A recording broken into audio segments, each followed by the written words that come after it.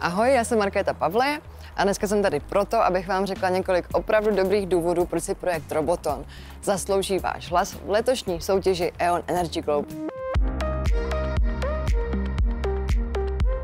26% světových emisí vzniká při výrobě potravin. Těžká zemědělská technika ničí půdu, nadužívání pesticidů a herbicidů je zdraví škodlivé a v neposlední řadě je tu ruční odstraňování plevele, které je samozřejmě fyzicky i finančně náročné.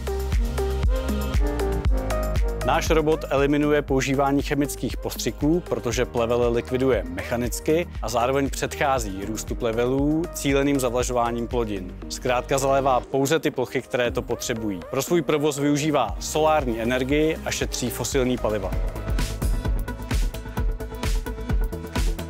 A můžeme vaše robotony potkat i v ostrém nasazení, nebo je to zatím jenom prototyp? V současnosti máme tři prototypy, které využíváme na našich polích a ve skleníku v okolí Českých Budějovic a produkční verzi plánujeme nasadit v roce 2026.